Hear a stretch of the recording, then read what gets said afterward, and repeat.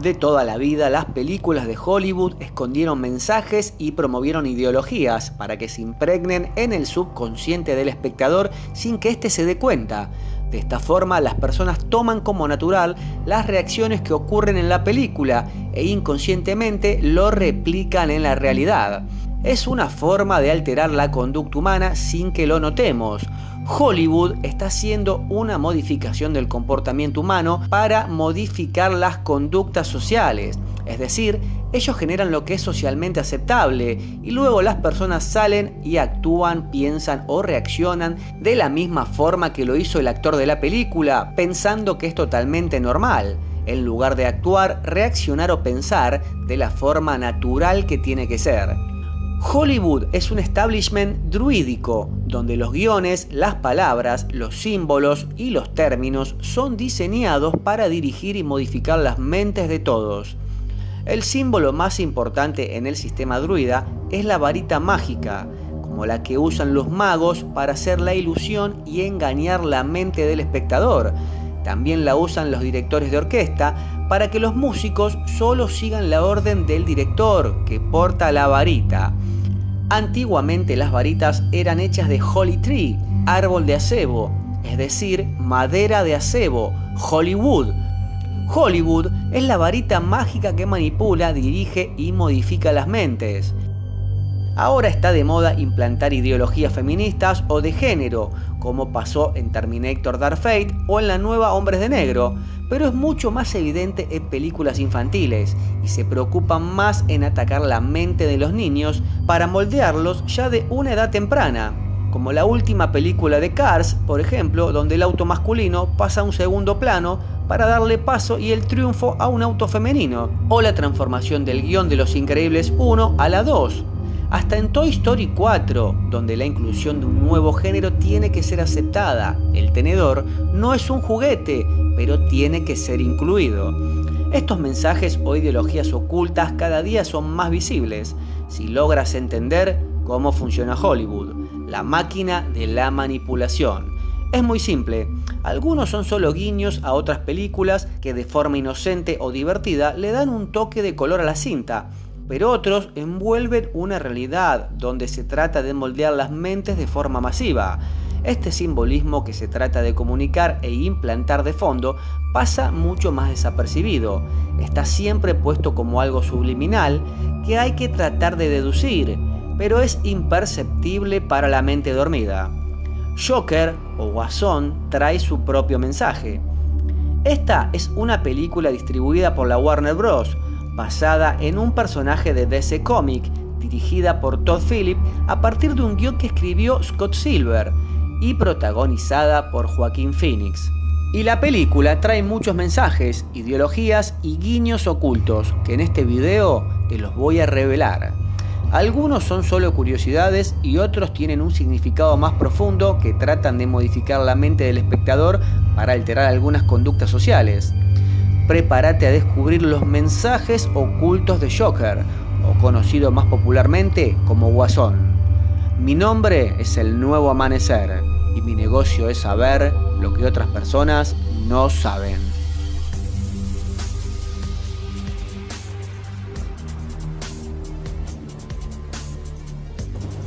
Déjame decirte qué haces aquí. Viniste por algo que sabes. No puedes explicarlo pero lo sientes. Y eso que percibes te ha traído a mí.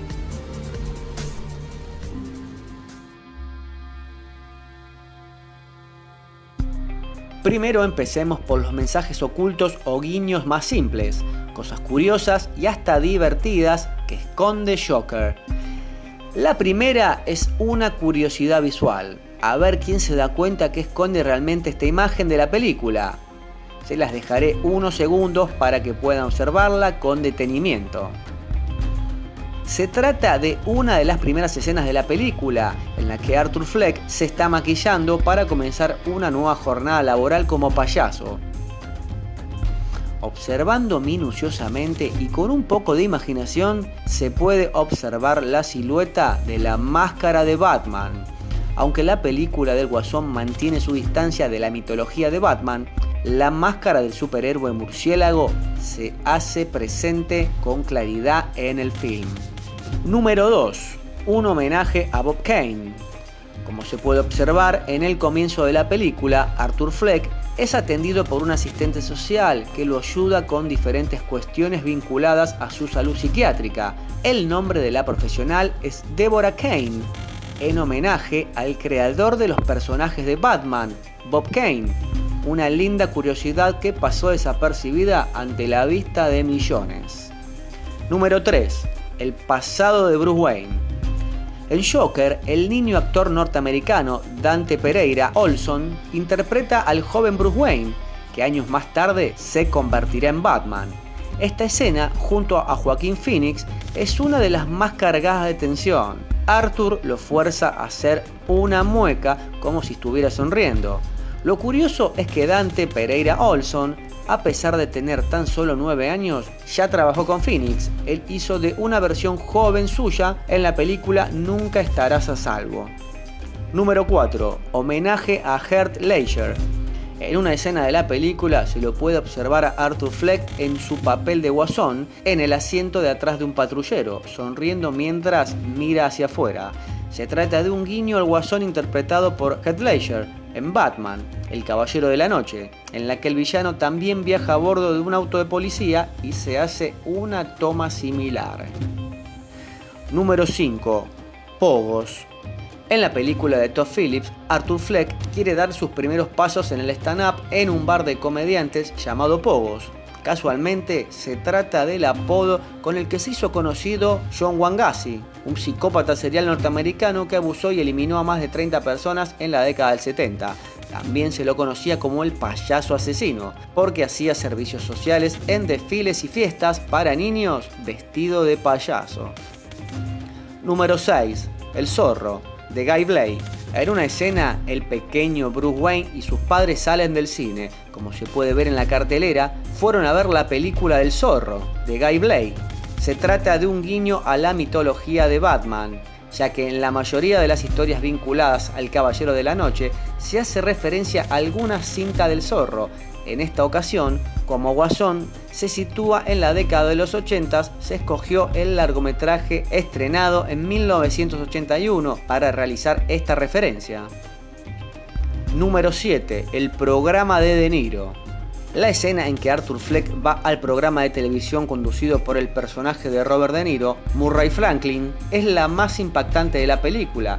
Lo cierto es que no es la primera vez que el guasón va a un show de TV en el cómic Batman de Dark Knight, al payaso lo invitan a un talk show, al que acude con el cuidador que estaba a su cargo en el manicomio, quien cree que su paciente ya está rehabilitado. Pero la realidad es muy diferente y el guasón termina envenenando a todos los presentes en el estudio de TV y en la serie animada de Batman también se aprecia esa escena. Número 8. El personaje de Mark Maron. El actor norteamericano Mark Maron se pone en la piel de Shane Ufland, productor del exitoso presentador de televisión que se burla de Arthur Fleck en su programa, interpretado nada más y nada menos por Robert De Niro. Si bien su participación es muy breve, se puede observar una clara similitud entre Shane Ufland y el personaje que Maron hizo en la serie Glow Sam Silvia, también trabajador de un programa de televisión. Número 9. The King of Comedy de 1983 y Taxi Driver de 1976. Ambas películas son protagonizadas por Robert De Niro y tienen escenas iguales a Joker. En The King of Comedy, De Niro interpreta a un cómico obsesionado por un presentador de televisión y en Taxi Driver interpreta a un hombre rechazado por la sociedad, ambos similares a Arthur Fleck en El Guasón. Y la última, número 10, las polémicas escaleras. Cuando Arthur, ya transformado en Joker, baja por ellas, la canción que suena de fondo es Rock and Roll Part 2 de Gary Glitter. Este tema ha sido muy criticado, ya que Glitter actualmente cumple una condena de 16 años de prisión por abuso infantil y agresiones indecentes a una menor de 13 años el dueño de la canción ganará dinero desde la cárcel por el uso de su canción en la película Joker. Estas solo han sido 10 curiosidades, algunas simpáticas, otras no tanto, que se esconden dentro de Joker. Sin embargo, la película envuelve un significado más profundo. Todos los nuevos guiones de Hollywood están diseñados a la actualidad de la agenda de la élite. Si vieron la película habrán notado que el guion trata de mostrar dos clases sociales diferentes y bien marcadas. Es más, hasta ellos la llaman la élite en una escena. El Guasón, como villano de Batman, siempre fue un bromista, un loco bromista que con sus bromas pesadas trataba de sacar ventaja y obtener una ganancia o más poder. Esa siempre fue la esencia del Guasón, sin embargo Hollywood lo transformó en un psicópata. En esta nueva historia, solamente dedicada a la vida de este personaje, podemos ver que el tipo no era malo, sino un marginado, un rechazado social, que poco a poco y paso a paso se va transformando en la cara visible de una revolución. A pesar de que él no lidera esa revolución, su historia se usa como el inicio de la misma.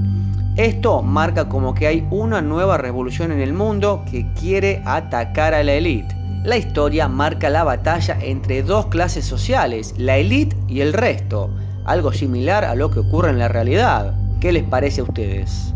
El Joker es el nuevo símbolo de las protestas sociales y los levantamientos antisistema en el mundo. Joker es una de las películas más reveladoras del estado global de las cosas en 2019, un año surcado por levantamientos antisistema de toda clase y pelaje la máscara del personaje que interpreta Joaquín Phoenix, es un nuevo símbolo para las protestas sociales que por distintos motivos y en distintos contextos sociopolíticos se producen o produjeron en Hong Kong, Líbano, Ecuador, Venezuela, Chile o lo que está ocurriendo actualmente en Bolivia. La resonancia del film de Top Phillips con la actualidad y su poderoso simbolismo hacen que pueda ser considerada un aporte coherente a la cultura visual de la protesta. Estos últimos días en las calles y ciudades de todo el mundo muestran espontáneos manifestantes maquillados como el Joker.